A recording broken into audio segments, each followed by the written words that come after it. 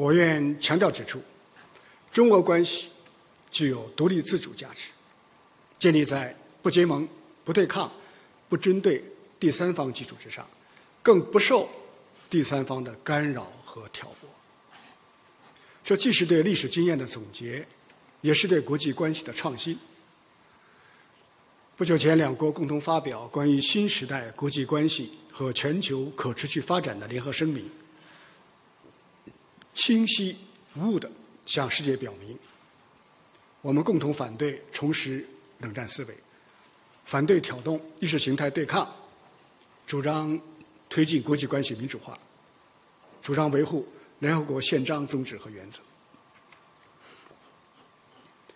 中俄关系发展有着清晰的历史逻辑，具有强大的内生动力。两国人民的友谊坚如磐石，双方的合作前景十分广阔。不管国际风云如何险恶，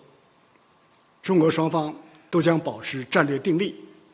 将新时代